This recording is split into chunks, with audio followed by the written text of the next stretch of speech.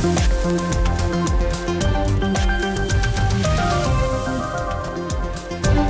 tal? ¿Cómo están? Es miércoles 4 de septiembre. Hoy hemos tenido una jornada meteorológica similar a la de ayer, con cielos despejados, con temperaturas que han llegado hasta los 30 o 31 grados en muchos puntos de la provincia, pero que va a ser un valor que no vamos a volver a ver en bastante tiempo porque a partir de mañana se desploman las temperaturas 8 o 9 grados menos.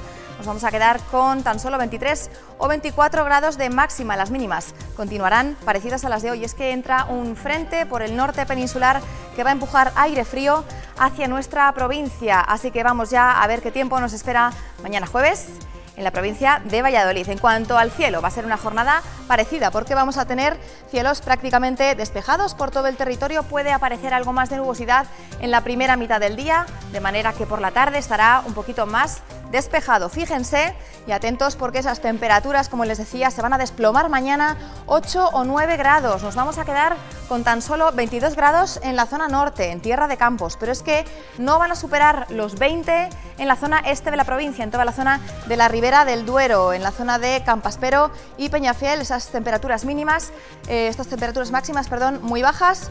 En cambio, las mínimas, bueno, pues no van a experimentar grandes cambios mañana, se van a quedar también bajas, bastante frescas, entre los 8 o 9 grados en esta zona de la Ribera, mientras que por el resto de la provincia, bueno, pues se van a mantener entre esos 10-11 grados como norma general. Esas temperaturas, como ven, entre los 23 y los 24, 24 eh, grados por el suroeste de la provincia y esas temperaturas mínimas entre los 10 y los 11 que no van a variar mucho. El viento mañana va a soplar de componente noreste, por lo tanto mañana va a ser una jornada, bueno, pues como les decimos, soleada, pero con la característica de esas temperaturas máximas que se desploman completamente, así que tendremos que sacar casi casi el abrigo.